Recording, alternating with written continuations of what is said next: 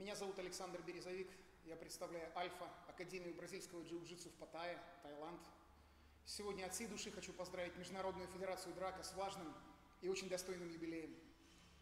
Каждый, кто хотя бы однажды начинал работу над собственным, пусть даже совсем небольшим проектом, понимает, каких усилий, какого труда это стоит.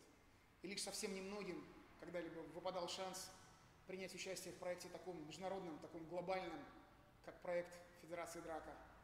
Я видел лично, каких усилий, какого труда и порой каких личных жертв это стоило самому Дмитрию Тюкалову, чтобы не сдаваться, идти вперед и продолжать развивать Федерацию Драка.